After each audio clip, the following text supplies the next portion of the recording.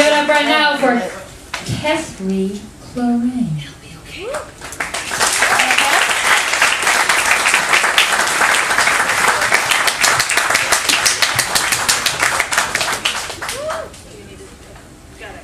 I seem to be okay. And now I can't see anybody. That's fun. Statelets, they're fun. Uh, so I'm just going to open with uh, this is my first Bruce. And I have had but lovely interactions, and everyone giving themselves little little pieces of you. Here's my story. Here's who I am. So I wanted to give a little bit back.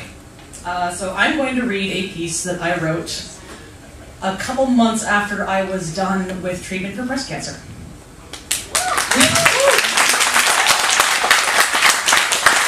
And this is about five years ago, so it, I probably should have edited this, but it was already on Facebook, so I'm just going to read it. So, I call this piece Strength.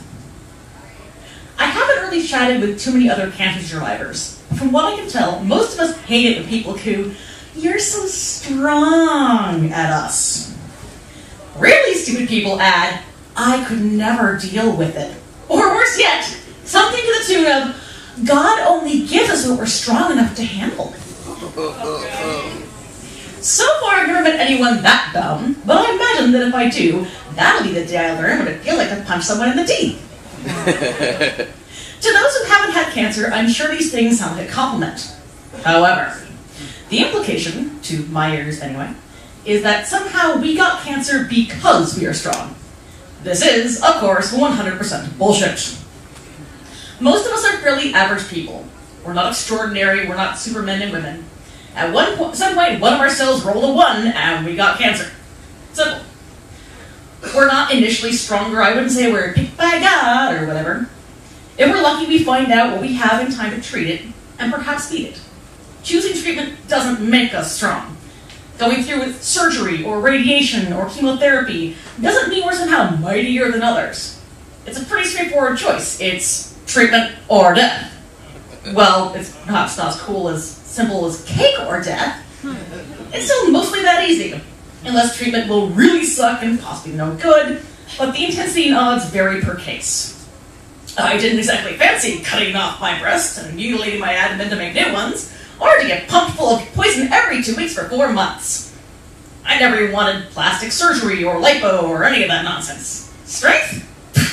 I wanted to live. I got shit to do. Strength and cancer are tied, though.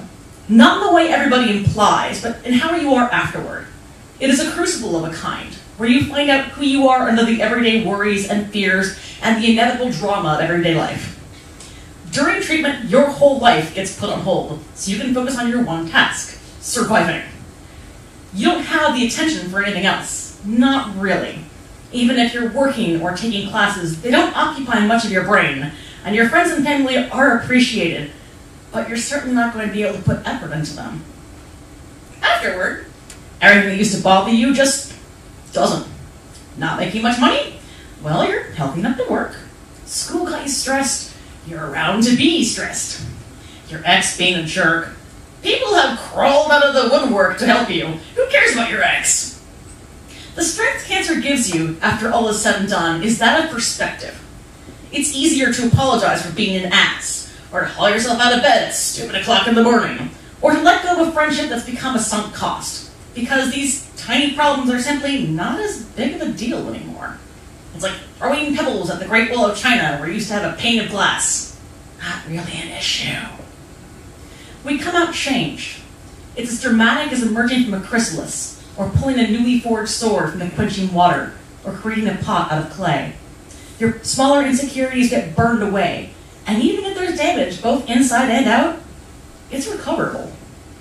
Sometimes I'm staggered how different I am now, a year and a quarter since it all started. I feel like I've matured a good 10 years, and I'm grateful for it. I'm not pleased with how it happened, but dear gods, the results almost make up for it. I hope that every survivor feels this way after it's all over.